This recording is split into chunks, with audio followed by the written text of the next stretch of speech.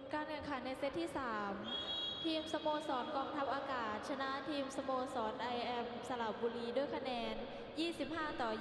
22 อีกสักครู่จะเป็นการแข่งสระบุรีด้วยสกอร์ 3 ต่อ 1 เซต